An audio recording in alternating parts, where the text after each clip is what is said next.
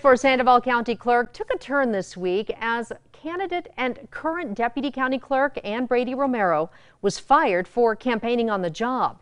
In her response, Brady claimed this is just one of many retaliations against her. News 13's Madison Connor joins us with more. Brady Romero was let go on Tuesday after someone went to the county saying she was campaigning on the job, something the county clerk says Brady Romero knew better than to do we couldn't um, solicit or um, do any type of political um, electioneering in the office.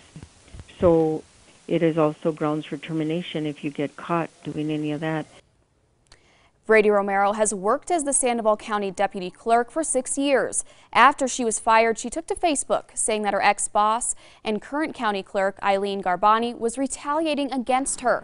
During an investigation into Brady Romero, the county says they checked times and dates of when she was campaigning at work. When she was confronted, she admitted to campaigning and was let go. Garbani said she had no idea what was happening until the county brought her in on the investigation. As for what Garbani had to say about Brady Romero's response on Facebook, she wishes her longtime employee the best in her campaign. She betrayed me and I, you know, I was hurt, but, you know, what can we do? Things you know, just turn the page and go on forward.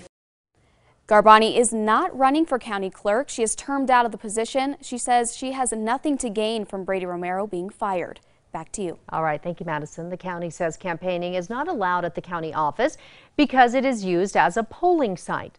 Democrat Brady Romero is facing off against Republican Lawrence Griego in the Sandoval County clerk race.